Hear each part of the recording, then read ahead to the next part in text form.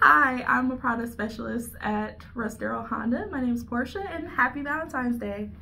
All right. What uh what do you love the most in life? What I love the most in life is friendship. It's very important to me. Awesome. Uh, what vehicle makes you believe in love in first sight? Ooh, that would have to be a platinum white pearl CR-V hybrid. Awesome. What do you love the most about that vehicle? Just the look of it, the blackout wheels, the aggressiveness, it's really, really attractive.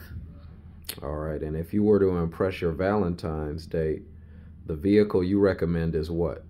Probably a seven or eight passenger pilot, just the space and room in it. It's very elite.